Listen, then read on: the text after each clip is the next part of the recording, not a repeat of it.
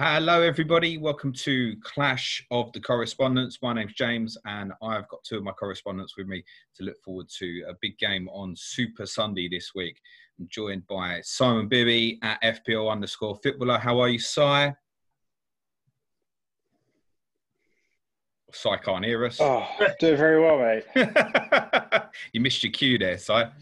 And joined by at Spirit underscore Blues at Sean Norton, our Everton correspondent. How are you, Sean? I'm uh, yeah, top of the league. I mean, top of the world. Ha ha ha ha ha. Yeah, I, I know you've been buzzing for this one, particularly, Sean, particularly after your correspondent week appearance before in pre-season, which everybody just ignored straight after game week one. What's if I come to you first? What's changed, or is it just obvious new signings? Yeah, the new the new signings that we you know we, we sort of touched on, didn't we? We we kind of knew who was likely to come in. It was just a case of whether we could get the deals done in time for the start of the season. Um, but the fact that they, they all hit the ground running, um, you know, first and foremost that they all played because I, you know, I spoke to you. I didn't, I didn't think Rodriguez would, would start the first game of the season against Tottenham. Um, no, you know, no chance. I thought we'd ease him in to things given his, his injury record and the fact he hadn't played any pre-season games. But no, all three were thrown in and all three played really, really well against Tottenham, uh, and we've just gone on from there. It was very much open the three of them would t- wouldn't turn up at Tottenham in game week one. In hindsight, mate, I think it would have been a very, very different game. Mind you, I wish Tottenham had just started the season in game week two and we could ignore game week one. Uh, another team that's come down to Tottenham already this season, Si, is your own. That was a very different game to when Everton come down. What's the impact of your new signings so far for Newcastle? Well, it started very well. I think it seems like quite a while ago, but that away win at West Ham kind of set up how I thought we were going to set up. All three signers played, and Hendrick as well, who scored that day, got one of his two goals for the season, and his um, assist. And it was looking rosy. Yeah, yeah, it was looking it was looking good, and then we've kind of regressed back to the the norm since then and uh, you know Bruce tried out Andy Carroll up top for a couple of games. Does what he usually does, which is if the team's playing all right, he'll keep players in there, which I think will be interesting this weekend to see if uh, Jacob Murphy continues in the team or not. Um, I, I, think really the, the team is kind of regressed to what it was last year. You know, you look at all the statistics, and we're kind of bottom for most of the kind of modern ways that you would analyze football in terms of pressing and and things like that and shots conceded is really alarming. Um, I could go on for ages about that, but maybe I'll uh, I'll wait till you ask me about what I think the score will be this weekend. What do you think the score will be this weekend? Let's get well, straight into it. Okay. until, until I saw the like all the red cards that Everton have accumulated in the last couple of games, you know, it could have been a cricket score, but uh, uh, I, I, can't see us getting anything from the game. To be honest, like, I've been so impressed with Everton in the way that they've addressed the issues that they had going into this season. You know, it's a kind of clear model for us as a club that you know, not saying we've got that amount of money to spend, but they, they had an, an issue with the centre of their midfield and they went out and bought three quality upgrades for that area of their team. So uh, I think if the, if he plays St Maximin in the right place, and I think to be honest, he'll probably play down the right. I'm hoping he will, seeing as Richarlison's out and Digne's out for the weekend. The, um, we might be able to do something, but I can't see us getting a result. Surely we all want St Maximin through the middle, don't we? Well, yeah, I've, I know I've chatted to you about this before, and I think he got that opportunity last weekend, and through whether it was just one of his off games or there was a lack of coaching into what he needed to do in that role, he just kind of looked like a bit lost. I know, like the saying is.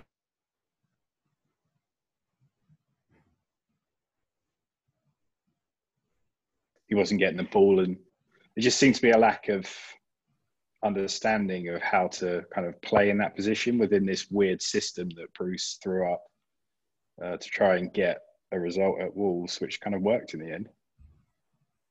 Yeah, I mean, it was a strange one, wasn't it? With basically Almiron and Fraser playing part of a, a three man midfield, basically. Do, do you foresee that continuing? Well, when the lineup came out, I looked at it and there was six wingers that you would class as kind of typical traditional wingers in the lineup. So it was quite a fun little game trying to figure out how this team was actually going to line up. But through like injuries or, or whatever, he, he managed to get a decent shift out of the players. And I think that's that's what you'll always get from this Newcastle team is you know they will consistently churn out just about enough to get us through the season. And you know, I think if you're not going to play players in the uh, best positions, limiting your capabilities by sticking Fraser on the right of midfield. Like when when has he ever played there? Even Callum Wilson playing he, at the moment, he's playing that kind of lone striker role. And I think it's no coincidence that no striker in the last five six years has been able to deliver in that role when he's playing like so isolated and just running into channels and there's no one pressing behind him. So I don't know. I think I think the rumblings about Bruce that have been going on since he got the job really are you know I don't think they're going to go away anytime soon. If you look at kind of how the type of performances and the way he's setting the team up. Uh, on Newcastle, Sean, where would Saint Maximin play you, if you saw the team and you thought, "Oh, I, I, wish he wouldn't play there against me"? Where do you think he could hurt you most? On the left. So, uh, is the assumption that Kenny's going to come back in for the Newcastle game? I think he will. Um, but that's you know it's a it's a it's a 50-50. It could easily be Godfrey again, but um, bearing in mind that he is a centre back playing out of position at right back, Kenny definitely wasn't ready for the Southampton game.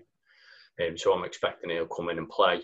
Um, but Jonjoe Kenny has got some positional issues that have caught us out many times in the past.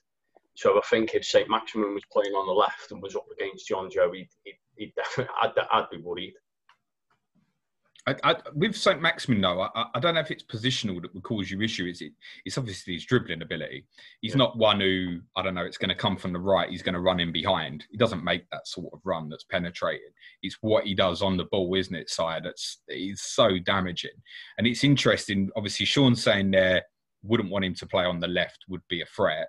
From an FPL perspective, many of us, and we've all been the same, I think many of us, get him centrally where he can run at the heart of people feels like he'll do more damage. Would you agree with that? I mean, one, one, of, one of the things that Michael Keane and Yerry Mina are, are very good at is not getting dribbled past. So, you know, for me, the damage from him would come out wide, more so down through the middle. I think we're more set up to be able to cope with that if he was to play there, especially with the likes of Allen and potentially Delph I'd like to see Delph come in. I think you know Gylfi Sigurdsson and, and Andre Gomes just don't give us enough in that midfield three. And if we were to play Fabian Delph, Andre Go, um, sorry, Doucouré alongside Allen and let Doucouré get forward, I think those two would be able to sort of cope with St Maximin playing central. Just wonder if you'd want to go up against Newcastle and play a more defensive minded midfielder than what you have been playing with. Yeah, yeah. Well, this is the problem we have when we don't when we don't have Richarlison. It, it, he's almost like two players for us. It's like similar to when we spoke about Idrissa Gana Gueye. And when we lost him, what a hammer blow it was because he, he does the work of almost two players. And it was noticeable against Southampton. And it has been previously when we don't have him because we're a size, size talking about Newcastle end up in a situation where the striker is isolated that's what very much happened against Southampton, and it's because Richarlison's missing primarily that that happens because Iwobi just can't get up and down like Richarlison does, and we haven't got anybody who can get up and down like Richarlison does. So the drop off in standard from the likes of him, and even to a lesser extent Seamus Coleman, you know, the drop off's huge, and that's why the performance against Southampton was so so very different to the performance, say, against Tottenham. Interesting. So, how do you want Newcastle to line up, generally speaking, in formation? Do you want a back five, a back four? I mean, if I was picking the team, it would be a back four. It would be four, four one, four one, or four two, three one. I think would be the optimum. You've got to get Fraser, Almer, and and St Maximin the team. So it's just how you utilise those three. I probably wouldn't play Fraser and Almiron in midfield. Although to be fair, Almiron, I thought he played well and he covered a lot of ground. He's just he gets quite panicked when he's on the ball. And I think with that Everton midfield three or whoever you're going to play in there with Doucouré and Allen and whoever joins them, Gomes, you know, I think he's going to struggle a bit more. Whereas Wolves were Wolves play a bit like us in terms of they don't press very high. They give you time on the ball, and even in that scenario, he was still, you know, picking out the wrong passes. So I'd go four at the back. Um, in midfield, it's a case of whether Hayden's fit to play alongside Hendrick. I think you'd stick those two, and then you'd have Fraser, St Maximin, and Almiron just all running wherever they can to try and penetrate that Everton defence that has looked a little bit shaky, I'd say, particularly after the last game. Digne's a massive miss for them, obviously. Um, the problem is, in the way that Bruce manages the team, is if he gets a positive result, he'll generally either stick to the same formation or stick to the same players. So after Jacob Murphy played so well at a stand-in right wing back, I don't know how he drops him. I don't think he'll drop him. He's not good enough to play behind a striker or on the right wing. And I've actually been calling for him for a while to be converted into a wing back. So I think that kind of suits his tendencies. He's quite disciplined. He's obviously got enough pace, I think, to play that position while having that extra cover of having three centre backs. It also suits Schär as well. So I think we'll probably end up playing, or Bruce will pick a five at the back and fairly similar lineup to what we played uh, against Wolves, I think. Uh, Sean, have you played against anyone who's played a back five this season? It's probably just Brighton, isn't it? Or am I missing anyone there? But Brighton, obviously, their wing backs play very differently to how Newcastle's will. Do you have any, with obviously Richarlison missing, do you have any fear from a creative aspect if it is a, a back five for Newcastle? Well, if they play, I mean, if they play a back five and, and they're sort of sitting deep, um, then, then they're obviously vulnerable to the quality of James Rodriguez putting balls in the box. Um, it'll probably only be a matter of time till he finds the head of Calvert Lewin. Um, so I'm not I'm not sure that that's the right approach to take. I think Southampton got their tactics spot on against us, sadly, again, um, because our pressing against Southampton was just really really poor, and it allowed Southampton, similar to how Liverpool did in the derby, to just to just knock it round us and just play through us. And I think I think that's where we're most vulnerable if we get the pressing wrong, which is, why I sort of be happy to see Delph come in. I think between the three players that I mentioned, Delph, Allen, and Doucouré, I think they can cover the ground better because Gylfi's so slow. You you know yourself, you know you know you spoke about it before. When a team presses, they've all got to do it because you've got one weak link, it just falls down. And so with Iwobi and Sigurdsson, it was all too easy for Southampton to just play through us. That's interesting. That I mean, what's the impact of of Allen? I think to the eye we go, yep, sitting midfielder, good distribution. He was obviously outstanding against us in in the first game in game week one. Why why was that protection not there in the same way on Sunday against Saints? Then do you think? Well, to a lot of us, he he, did, he didn't look quite fit. He, he didn't seem to be getting on the pitch as much as he has been. So I don't know whether whether you know because he got a, he got a knock before the international break, so he obviously he hasn't missed any games for us, but his performances since he got that knock, um, which was in the League Cup if I remember right against West Ham, where he ended up going off. He's just not quite looked right since he come back in. Just so I think he might be feeling the effects of that injury somewhat. Um, but also, you know, we've got to remember it's a, it's a new league for him, it's a new team, new system. You know, maybe he was just playing you know, he hit the ground running and, and he's levelling off a little bit maybe. Um, I don't, I'm not totally convinced that he will stay as a sort of holding midfielder for us moving forward. I think that'll be Gbamin anyway. I think he, he seems to naturally want to get further up the pitch. So I think when Gbamin's fit, it'll be Gbamin, Allen, and Doucouré will be the three that will play in the middle. Are you? Um, I know obviously you're doing great at the moment, Sean. Are you concerned defensively? It's, uh, it's unusual at this stage to have the team that's top of the league conceded nine goals in six games, and you're not alone, obviously. But are you concerned about it ongoing? Yeah, yeah, that, absolutely. I mean, I'm a Fred. about Everton assets before the season started, and I spoke about Lucas Digne.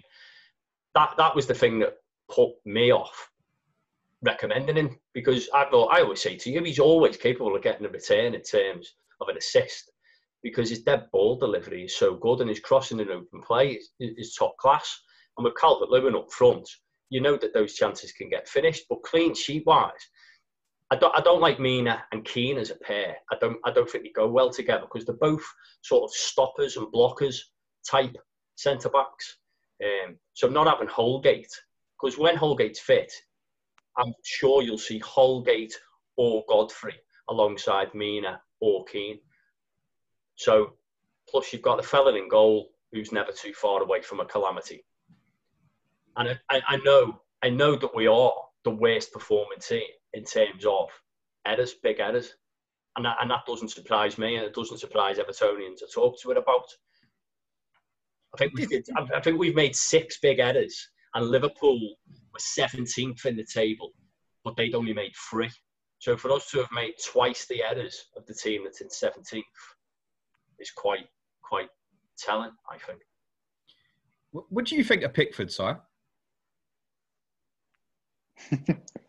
oh, he's he's got a special place in every Newcastle fan's heart. Well, that's part why I mentioned it because it was a game two he years just... ago where I think you came back from 2 0 down and won 3 2. And uh, Pickford lost his mind a bit, didn't he? He, oh yeah, he was like clapping the fans and stuff. He, he just, he loves to give it the big one. I think, I think he's, uh, you saw it with like the tackle with Van Dijk as well. I think he kind of knows is, he, he's like the most arrogant keeper, but you kind of need that as a keeper. Right? Everyone says you've got to have a bit of self belief and arrogance, but at the same time, he knows his own liability abilities. So it's like this weird clash of someone that knows they're not good enough, but also thinks that they're better than they are. So for me, the the, fun, the fundamentals of his game, you know, reaction wise, he, he can like sh- stop shots, but he's he's not the sort of keeper. I think he, he's just not as good as he thinks he is. And being like an, an ex Mackem as well, it's just it's quite funny. And also, he's in my dad's fantasy football team, which gives me a lot of joy whenever I sit down. I see some kind of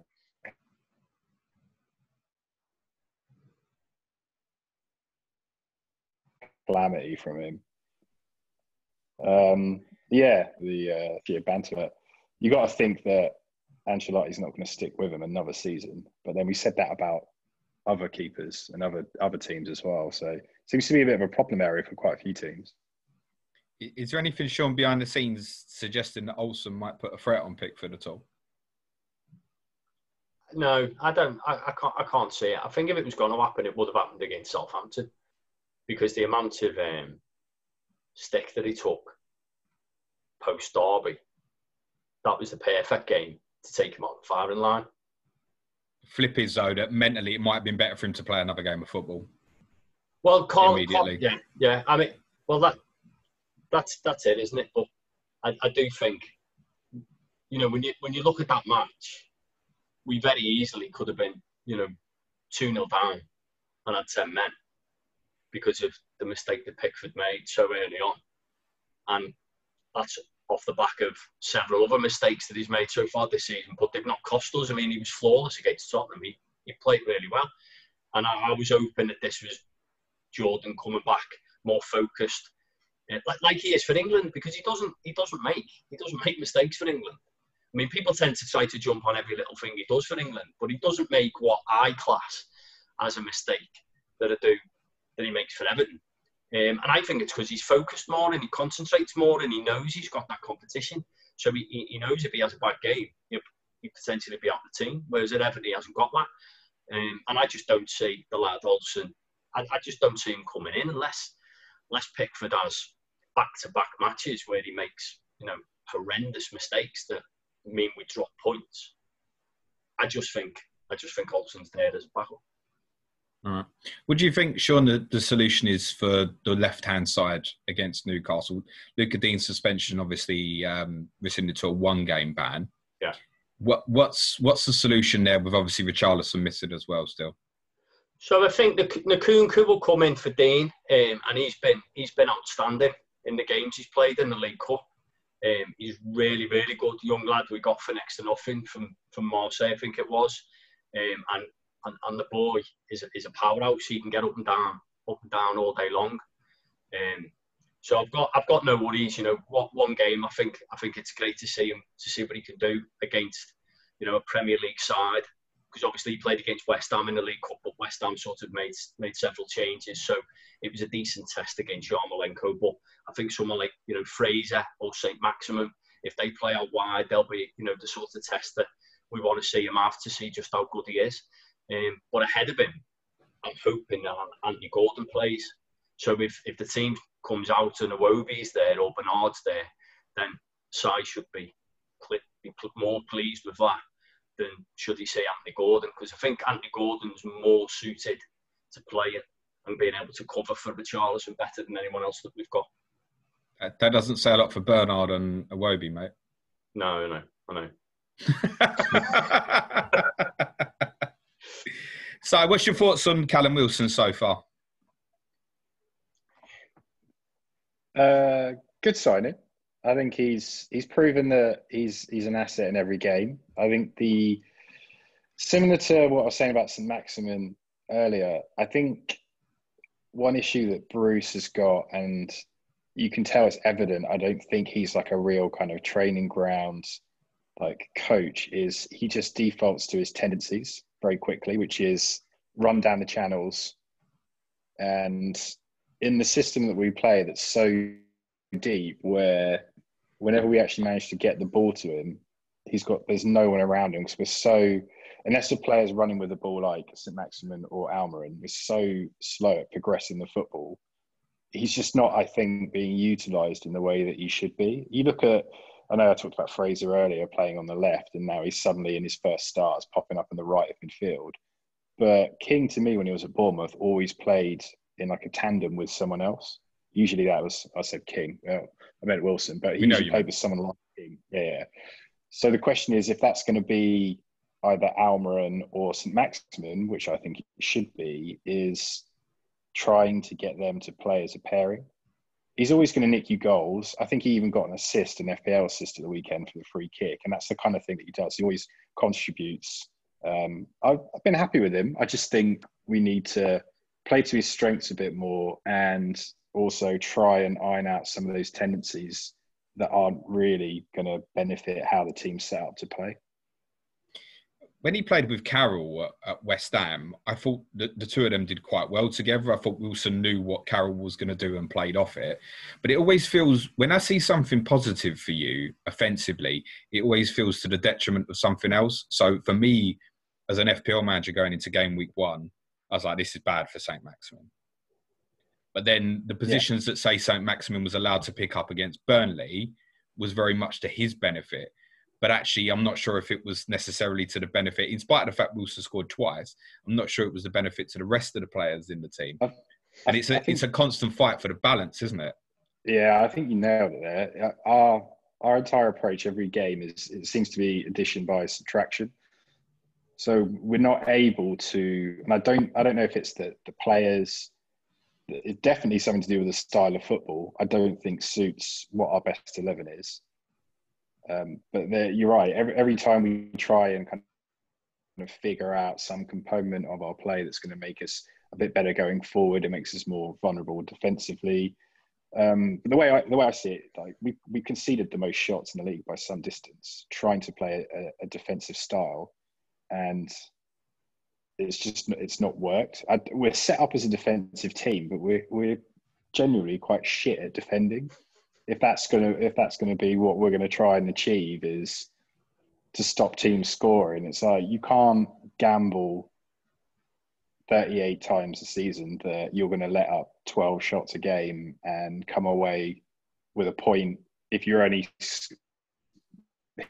hitting one shot on target at the other end. It's just like madness it's it's more like uh, 16, 17 shots a Pretty game. Positive. I have an idea what that guy's going to do from like week to week. So is that just a long-standing issue then, Sire, where yeah, yeah, with Bruce? True, true, yeah, is, this, is this why we keep coming back to that? And I, my sense is that you would rather he moved on.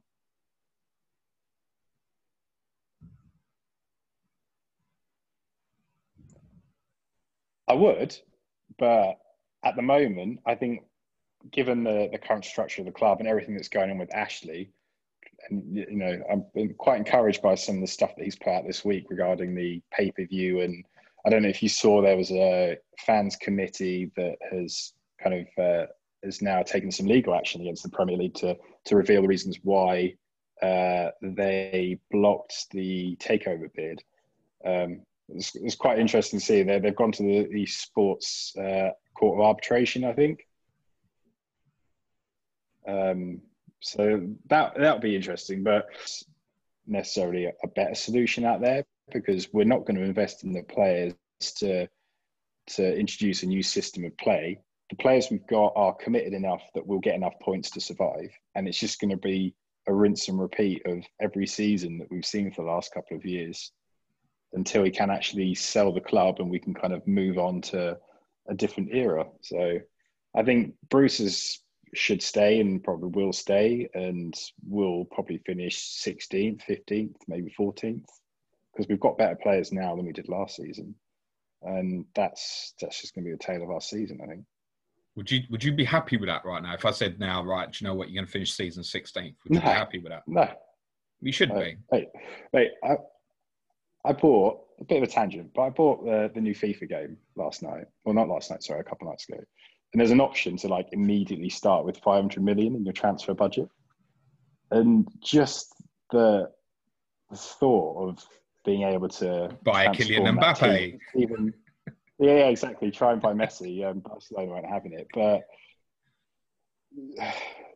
it's just impossible, I think, for us to really like progress as a football club without that kind of injection of of cash and also just a new strategic like vision for the club. So at the moment, we're stuck with Bruce. We're going to play Brucey ball for the rest of the season, I think, at least. Um, no idea. Don't ask me what the lineup's going to be from week to week, unless week won, in which case it'll be exactly the same as the week before. And you know, I'm just going to have to grit and grin and bear it because it's just football is so bad to watch and it brings other teams down around us. Uh, elaborate on that. I mean, because like you, you, deserve to beat Burnley, right? And I know that it was quite widespread that Burnley were a lot better in the second half against you. In I think it was game week four, wasn't it? I'm not sure they were. I, I felt you played for the majority of the game. You were the better side. It wasn't a brilliant watch. Would you agree with that? No, when was the, the last year? What's the yeah? I would agree. I, I haven't seen a brilliant watch for Newcastle since where both teams have, have played well. I can't remember the last game that both teams have really been on their A game, competed well, and like Newcastle come out with a positive result. Like, genuinely off the top of my head, can't remember that. It's it's usually we catch a team on a bad day, or there's something in the kind of the setup of the system that exposes some weaknesses of the other team. I don't think, I know Sean was talking about Everton's need to press, like the way that we play and how defensively deep we set. I don't think, unless you're going to try and nick the ball off us outside the edge of our area, I don't think pressing is going to be a massive issue. I think it's going to be get the ball to James Rodriguez. Like you say, I'd be amazed if from an FPL point of view, we don't see a Rodriguez assist, Calvert Lewin goal this weekend. So if you own both, I think you're laughing. With that in mind, Sean, if uh, there was an FPL manager sitting out there with no Salah, no Mane, no Kane, no Son, and said to you, I want to stick the armband on Calvert Lewin this weekend, what would your thoughts be? I, would I'd say that's that's too big a risk, to be honest. I mean, I do I do feel like there's every chance Dom will get get a goal. I'm not sure it'd be any more than that. I don't I don't see without Richarlison, I don't I don't see us I don't see us scoring sort of three, four goals. Um, no chance. I'd, I'd agree with that generally. He's not going to play 10 man West Brom every week where obviously the goals come late in the second half. Look, his, his goal scoring so far this season is brilliant, right? But remove that second half, Callum Wilson's got more FPL points than him. Remarkably, he's only three FPL points between Calvert Lewin and, and Callum Wilson. Seems mad. What's um what's your thoughts on James, Sean? I, I know you you love him, but just elaborate in terms of what he's he's bringing to the team at the moment. Well, I think what it, what he what he brings is is what you know everything that we were missing last season, um, because we we were utterly hopeless from open play in the centre of the park. So bringing in bringing in Rodriguez has just opened up the whole pitch for us. It's getting the best out of Richarlison because we've got somebody who can now switch the play and get the ball out to him early. So, you know, fullbacks have got to be aware of Richarlison's runs. But Richarlison also comes in centrally to support Dom. So you've got Lucas Digne overlapping, and Rodriguez can pick him out. Set pieces, you know, his delivery is Luke, Luca Digne was brilliant. Gylfi Sigurdsson's good at set pieces, but Rodriguez's delivery is just next level again. So we were already good from from corners and, and free kicks, and he's just took it. He's just took it up a level. And the lad, you know, he's just different class to watch. His, his touch is is fantastic. The way he finds space for himself, and then he sort of stays on the right for the first twenty minutes, twenty five minutes, and then has license to drift centrally. And you'll even see him coming over to the left sometimes during the game. So he's got very much a, a free role because he knows he's got the likes of Allen and Doucouré helping to cover the fullback areas behind him. Yeah, he's really important actually. There's a good point. In terms, Doucouré would normally be the, the, right of the midfield three, so obviously he's got the legs to get out there.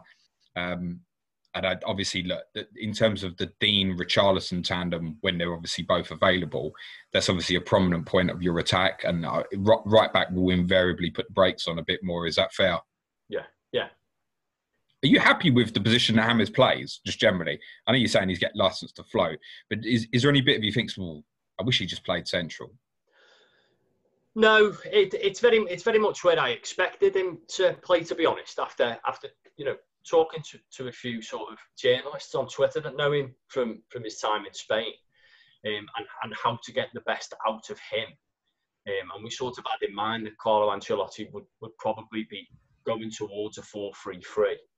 Um, so I, I, think it's quite clever the way the way he's got him there because, like I say, it, it gives him gives him a, a, lot of a lot of freedom, um, and teams don't quite seem to know what they should do to mark him because of the fact, like I say, he spends the first 20, 25 minutes out wide, and then he starts drifting in, and I think that's partly why we scored so many goals so early because you've seen teams sort of struggle with, with who's going to pick him up and such is his quality. If he gets a little bit of space outside the area, I mean, not like foot is a one. Yeah, the only thing I felt on Sunday, Sean, was uh, uh Bertrand and Redmond are a, a good little combination on the left hand side for Southampton. And it just felt he got forced so deep at times. Um, and he does work hard and he does go back. That, that's not in question. It reminded me a bit, though, I, I had similar with Rafa van der Vaart when we had him 10 years ago. And Rodriguez is he's a much fitter player than Rafa was. But he ended up playing deep right midfield quite a lot, and you want him as close to goal as possible, yeah. right? Yeah, yeah. Um, Newcastle's not the sort of team that's probably going to force that on James, but should Saint Maximin start off the left, it might be that whether it's by design or not, he's forced to go quite deep, deep during the game, which yeah. with the issues on the left, you could do without this week, I would say. Yeah, yeah. I mean, if the, the other thing about Rodriguez is if you play him as a ten, then then he sort of he's one of the three centrally, and I don't I don't think I think that that like you say he, he, he, he tries to get back, he, he puts the yards in, but he's not an effective tackler. So by having him as part, having three lads behind him who can do that work, I think that's why you see him so effective in the game. Whereas if he only had two, if he was part of the central three, I, I think he'd struggle a bit more, or the team would struggle a bit more if that was our setup. So that's why I like him wide, you know, wide right of the of the front three. I think you had a point you were going to say, Si. Or maybe not. He's frozen on us. uh, I guess one, of the, one, it's one of the. Uh, one of the reasons why I hope Hayden's fit, and if we play five at the back, uh, I would almost give him a free role just to go man mark Rodriguez, particularly with Richarlison out. Because if you're if you guys aren't going to necessarily play that pressing game, you know, and from what I've seen of Everton this season, it's, it's difficult with Richarlison out. Um, if you can stop that supply line into him or just get in and around him, and it looks like a lot a lot of teams like have progressively kicked him more as every game's gone on. So I think the fouls against him have gone up, um, and I can I can only really see that trend continuing. He seems to be the sort of player that at the start of the season no one's really accounted for. Obviously, everyone knows he's like a well-renowned talent, but maybe as the season progresses, teams might gain for him a bit more. And I think hopefully, if I can give Bruce a bit of credit, he might be able to pull that off if we've got someone like Hayden that can get around the pitch where he is. Because I think with uh, with Richarlison missing, it does cut off you know one very sort of lethal avenue for you. And it, that seems like the obvious plan A would be to get Rodriguez on the ball and trying to get Calvert Lewin in that way. So if we can stop him through a um, bit of a man marking job and with five, five at the back, I think that's possible. Um, that might be a, a, way to to limit what Evan can do. I think this weekend. Thoughts on that, Sean? Would that be a concern for you if, if someone dropped on James during the game? Well, I mean, it, it you never like the, the sound of you know someone getting man marked. Sort of fills you with dread, doesn't it? Because you you worry that your most creative player is not going to get any any time on the ball. But when when when I watched him this season, you know, particularly against Tottenham, it was so impressive the way you know Ben Davies couldn't get near him. He, he, he just he just he's a world class player. He knows how to find space, and I think um, whilst it sounds you know it sounds entirely logical what I say, um, but don't underestimate the kid on the left that's got to come in. He, he is an absolute flying machine, and and I think Rodriguez, if he comes deep, will be looking for that switch of play over to the left hand side. And if Anthony Gordon does play, which I, I kind of think he will, Gordon will look to support Dominic Calvert Lewin. And I think they'll have to be careful of Nkounkou coming coming down that left wing because the lad the lad's got quality. You know, we did see it in the League Cup. Um, one of the assists that he got was was at Fleetwood, yeah. outstanding, outstanding. So he has he has got quality, and that might be something that we, we can sort of catch Newcastle out because they focus that much on Rodriguez that the youngsters on the left can play a big part in the in, in the game. Where do you think you'll finish now, Sean? My my sort of um, view on the season, you know, hasn't really changed to be honest. I mean, I, I still think it'll be it'll be somewhere between sort of six and eight. Um, I think if we can get between 60 and 70 points. Obviously, I'd like us to get closer to 70. But I think that's progression for us because, you know, we did finish 12th last season and we struggled in the last few years to show progression. All the managers that have come in have done very, very well in their first season. And then all momentum's been lost for various reasons, you know, with, with key players leaving or, you know, not signing the targets that we wanted to. So I, I like the fact that Carlo was able to come in and get a few months to assess the squad. And I think that was crucial to then making the right signings to allow us to compete more this season. And we've already seen it. And I, and I think it'll carry on. We will give the so called established top six in the league a much, much tougher game than we previously have. And I think we'll find a bit more consistency against the teams in the bottom half of the table, which should see us like I say, finish somewhere between, I'd like to think mid 60s to, to 70 sort of point mark, which should get us European football or certainly have us in the, uh, you know, in the, in the equation for it. High 60s, Sean, could be top four this year with the way it started so far. That all the clubs, uh, you know, Tottenham, Arsenal, United, Chelsea, they've all had inconsistencies for like 18 months now. Um, so let, if, if you or someone else, uh, a Leicester, for example, can show consistency, it's on the table for you. You just got to go and take it. I think the one thing I would say is I got concerns about you this weekend because I just feel like there's one too many players missing. Yeah. If you can keep the, the, the structure of the main 11, if that means Delph is going to come into the team, so be it.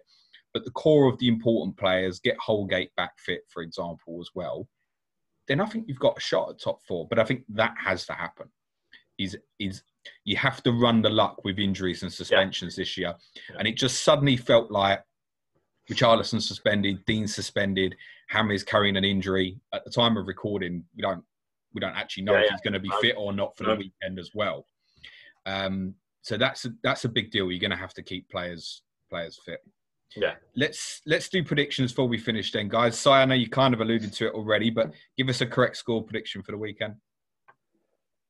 Uh, I'm gonna put my positive hat on and say it will be an exact replica of, of the Wolves game, where we go one 0 down, get battered, and then do like we did last season, where Lejeune scored two injury time goals to, to nick a point. I know that was at Goodison, but I, I, I could see that potentially happening again. Uh, a Pickford mistake in the last minute, get us a point. The worrying bit is so because Sean. I'll take that. So you think a draw then? Maybe, yeah. I'd say if Richarlison was playing, we'd have no chance. Um, too, too much quality, too much movement. Um, but with, with him not out there, I think we might be able to just game plan enough to to get a positive result out of it. And I, I don't, I still don't trust Everton defensively. So, yeah, let's let's say uh, a draw. I'll take that. Sean? I think we could sneak a two-one win. Why sneak? I don't. I don't think it's going to be a a sort of swaggeringly good performance. I think. I think we'll have to grind grind out the victory. But I think. I think we can just about do it. Yeah, If my- I was a better man, I'd say two one. Yeah. So it was last year. that was the score last year, wasn't it? Calvert Lewin scored twice, didn't he, Sean? Um, I think he got both, didn't he? Yeah, yeah, he did. Yeah, Yeah. I'm Yeah, just con- I'm just I'm just concerned, Sean, about what I said in terms of Digne Richarlison. If that's James missing as well, that that can be quite big. I think I'll, I'll possibly go for a draw here, one-one. And actually, if James is missing, I'd be a bit concerned for you, Sean. Oh yeah, Um, so, so so would I. It'd, Yeah. 2-1 the- it'd probably be well. Yeah, I'd say it'd be two one the other way if Rodriguez doesn't play. if yeah, to be honest, if if James isn't fit, I'd be concerned actually that he Right. might get beat. Oddly enough, which Yeah. considering everything we've just discussed over the last forty minutes or so is a little bit bizarre. How do you feel now, uh, Si? Um, going going down the bookies, I think. If, if, Listen, we ain't we don't feel that strong about it, mate. no, I, I've, I gen, genuinely like could happen. I'd, I'd be pretty happy with it, but I, I just I'm pretty blasé about us now. Like if we lose, it's like fine. We'll pick up points. It might not happen this weekend. It might happen next weekend. We'll, we'll get to forty odd points and how it happens. No, it's pretty hard to, to stay motivated and, and locked into individual games when you're a Newcastle fan these days. No, I get you. I think happens, and you know, even if we get relegated, I was going still to say if we get relegated, it means we'll be able to get taken over. Yeah, well, yeah, no, because it means we can get. They, they let anyone take over clubs in the football league, so it means we'll be able to get that, takeover done through. that no might problem. not that might not be the Anyway, case if we by the time you end up last- there.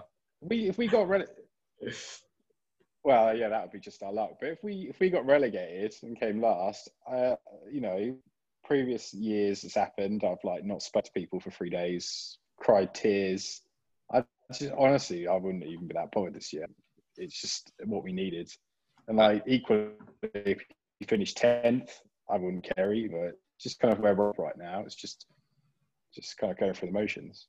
there is a, a passiveness about Newcastle fans generally on the whole. It's not just you, Si, who came into this season with with that idea. I was sort of hoping performance like at West Ham might have given you a bit of a, a lift, etc. But I, I get it. I get it completely. You can't see the, the green, if you will, the bright lights of what the football club's going to be next year, the year after, whatever. It feels like a repetitive cycle. I feel for you. I get it. I went through this with Tottenham in the 90s, and Sean's team's gone through it as well of being absolutely nothing and just not seeing where it's going.